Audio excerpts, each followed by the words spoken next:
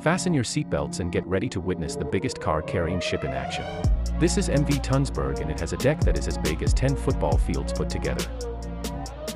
Do you know what that means? It has enough space to carry 6,500 cars. It boasts of an advanced navigation and communication system.